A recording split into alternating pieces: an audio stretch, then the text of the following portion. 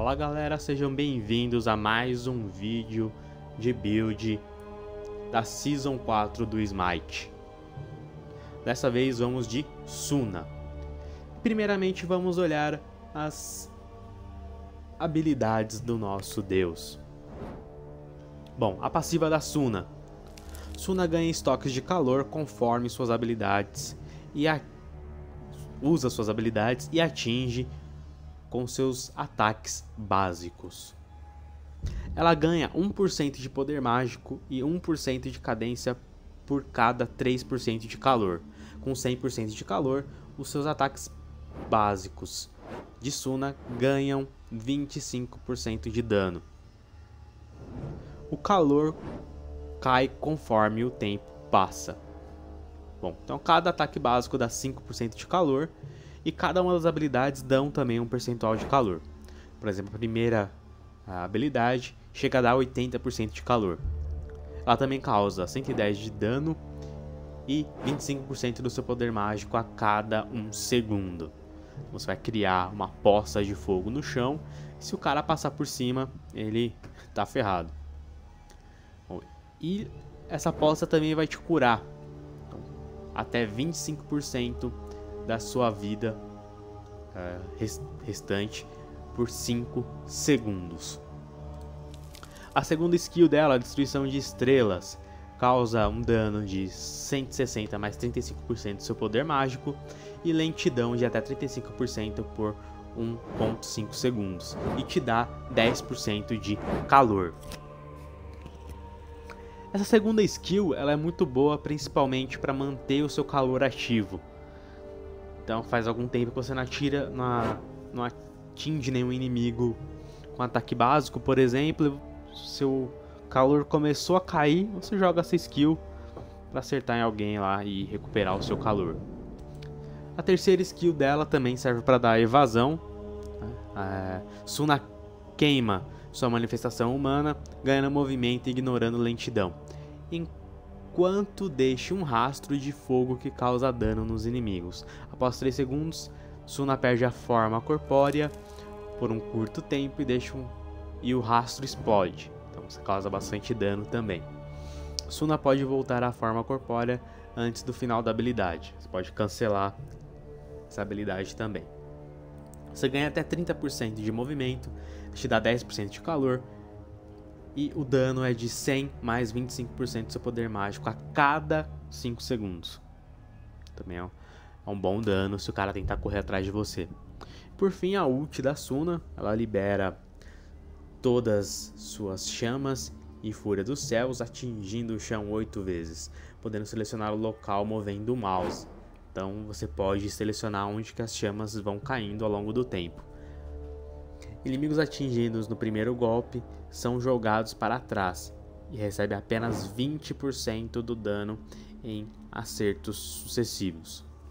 Esse, essa skill vai dar 350 de dano mais 50% do seu poder mágico. Bom, evidente que a Suna é um char que vai usar muito dano mágico, muito dano de habilidade, mas também muito ataque básico. Então você pode mesclar um pouco disso daí.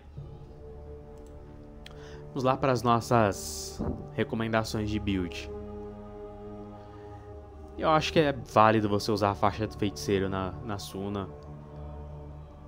Assim como sapatos do foco, pingente de Cronos e livro de Tote. Aí você vai ter bastante poder mágico. Mas você também pode optar pelos dois itens restantes, sendo o livro dos mortos e o livro de Tote. Ou ir mesclando os itens de cadência com o polinominco. Bom, se você colocar dois itens de cadência, ela vai ficar com uma cadência extremamente alta. Então, se você acertar todos os hits na sequência, você vai gerar muito dano no, no seu oponente. Ou então você pode optar também pelo polimonico e, e intercalando ataques básicos com a sua habilidade. Isso aqui também vai se demonstrar muito eficiente, tá, galera? É, vai dar muito dano. Soltou uma habilidade, dá um ataque básico. Soltou uma habilidade, dá um ataque básico. Soltou uma habilidade, dá um ataque básico. E vai seguindo isso daí.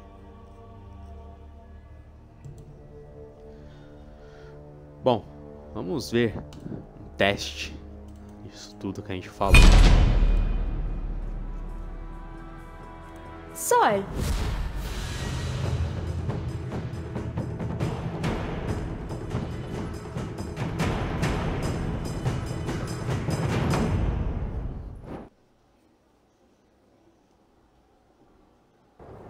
It's been some time since I was last on Earth.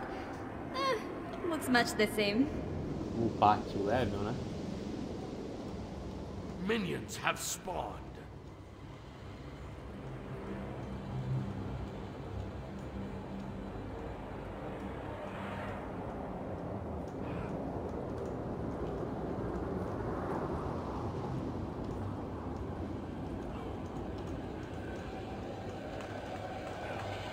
Bom, então ataques básicos, ó. Vai enchendo ali a barrinha da, da sua.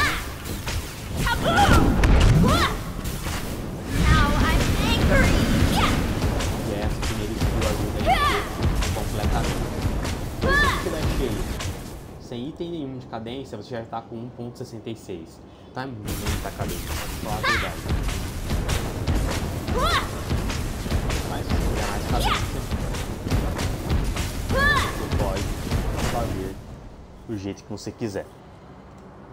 Bom, build que a gente está recomendando para Faixa do feiticeiro, sapatos de foco, pingente, de Cronos, livro de Tote, cajado de Tote e pole no Micom. É essa build aqui que a gente tá recomendando. Bom, olha só como tá batendo aí. Tá batendo aí 170, mais ou menos, não? A faixa de 170. Se a gente usa Hold up. A little unstable. 20, vocês viram que bateu 450? Vale bastante. Ó, mais 450. Been here long enough. Aí os dois, mais uma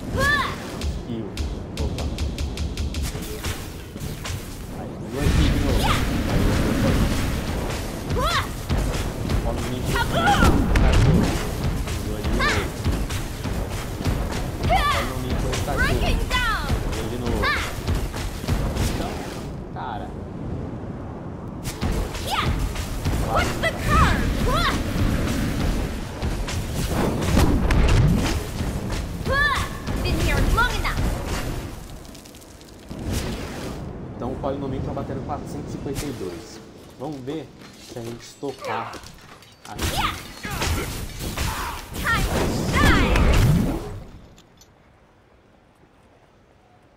Vocês vão ver que a gente vai chegar a uma quantidade absurda de dano.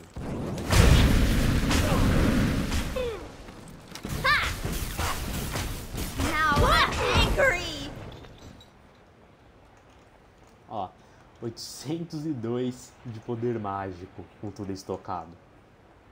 Bem, tá dando mais de 130 de poder mágico.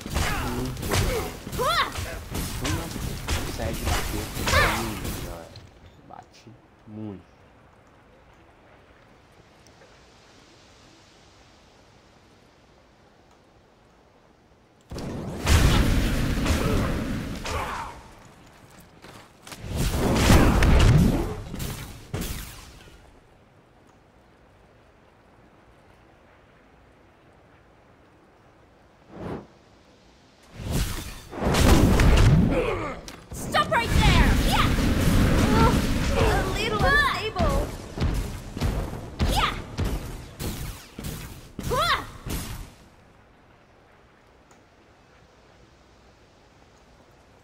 Let's make it hot.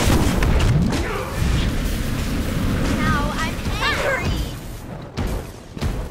É óbvio que o ideal é que você use sua ult só quando você tiver com todos os estoques de calor ali no máximo, né? 25 de calor, aí você.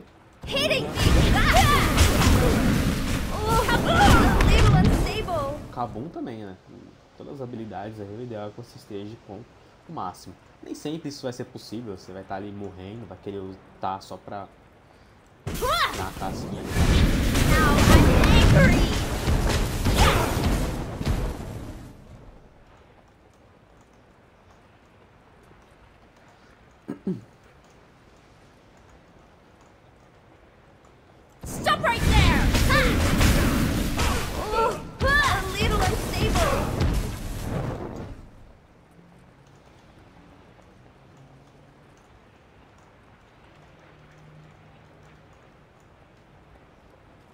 Up!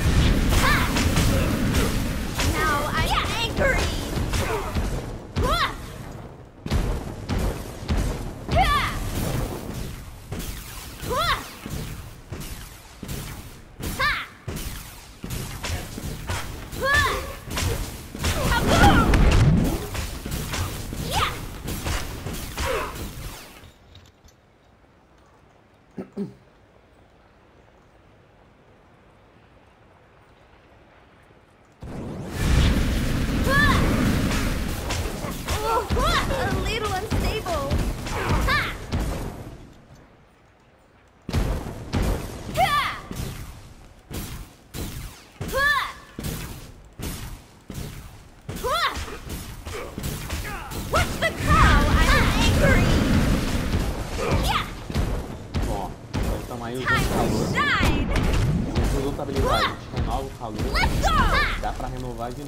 Calor,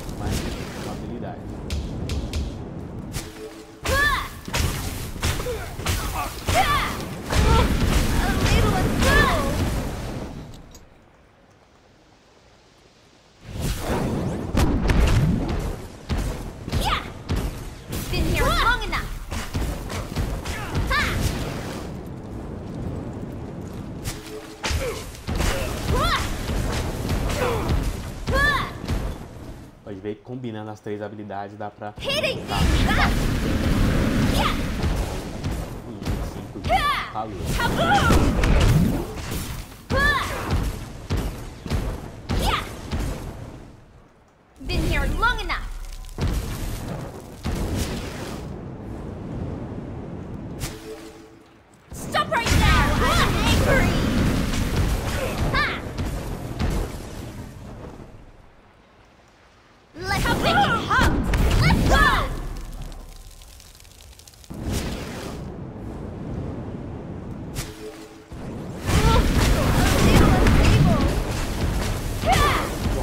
já estocamos tudo.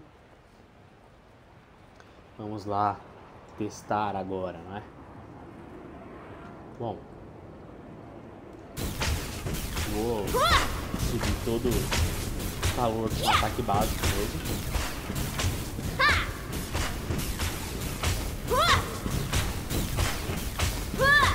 Now I'm angry. 912 poder mágico. Ataque básico é 264.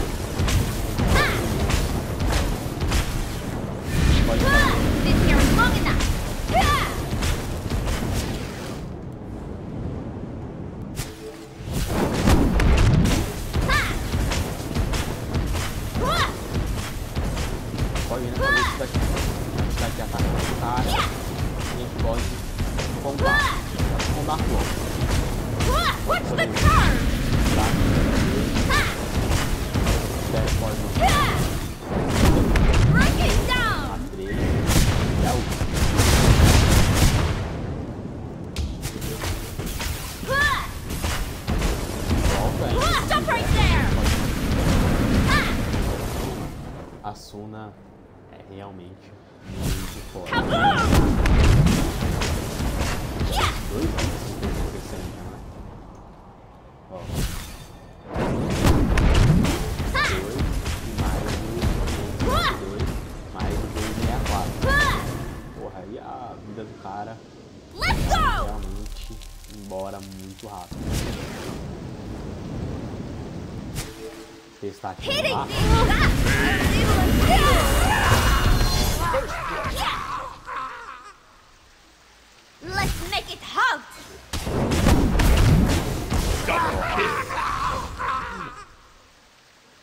destrói.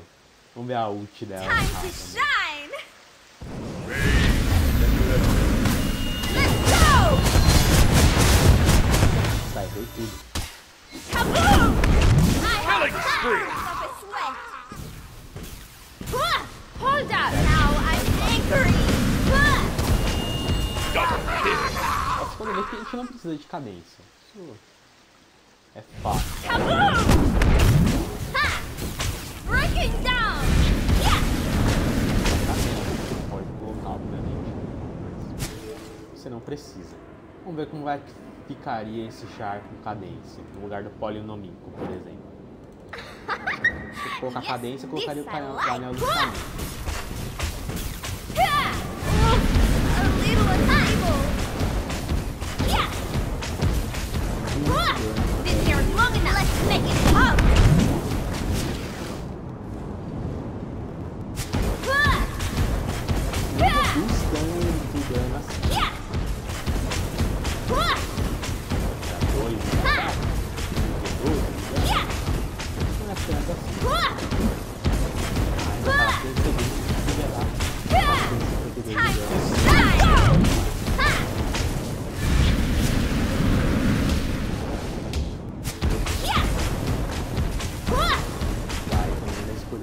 Vocês, né? Vocês podem apelar ainda mais. Tirar aqui, por exemplo.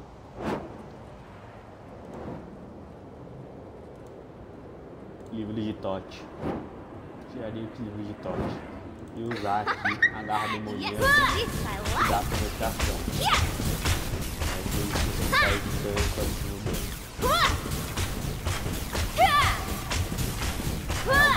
Now I'm angry!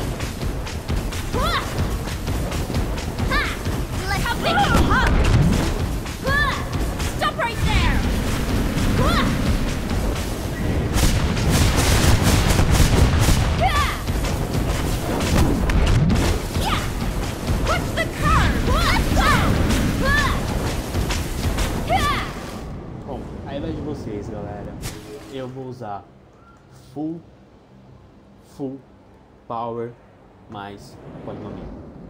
É isso aí, galera. Valeu e até a próxima.